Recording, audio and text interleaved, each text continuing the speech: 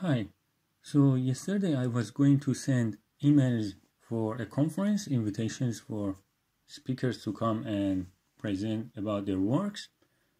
But the problem was that I was going to send 320 emails and all of them with the same text, just changing their name and their email address.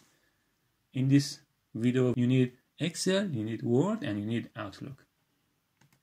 First, you open Excel, keep the first row for the name of the things that are going to like being filled automatically. For example, first name and then last name and maybe title of the person, doctor, professor, or so on.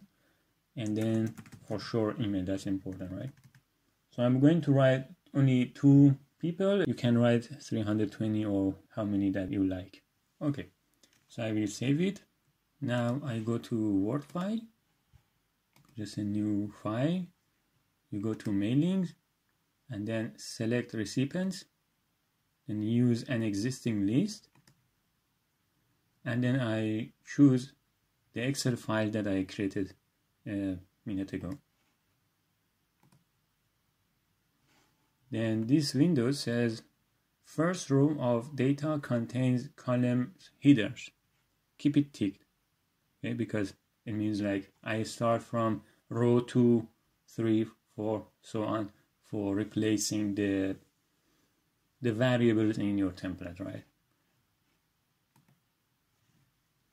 Now I need an invitation letter. I have a prepared text here. It's not a real conference, just writing it here. So dear, here I want the title. So you click the place that you want to put the automatic text. If you want to insert something here, then you click here.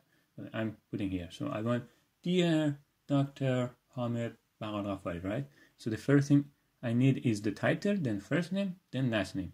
You go from insert, merge fields, here automatically has all the names in the first row right so I put title one space first name one space last name you might have other things that you want to put maybe here or here depending on the on the text that you want here is very simple dear Dr. Hamed Baghalghafari, hope this email finds you well. We are organizing this conference we want you to join. If you are going to join please let us know by this date. And that's simple. Now you can see the preview. Here preview result. And it replaces automatically the title with doctor the first name with Hamed last name with Baghalghafari and if you have more fields you can use these arrows to see like what about the next one for example? Dear professor gomi tv and then that's that's the end because we have only two okay? And then you can hide it again. That's fine. And when you are happy you can finish and send it. So finish and merge. And then send email messages to email. This is the the fields of your template right? And automatically it goes with the email. It's easy to understand. And then the title of the email. That is fine. And you can choose to send to all of the recipients or only one of them or from row this to this right? I will send for all of them. Okay. And as soon as you press OK if you are connected to internet it is going to send them.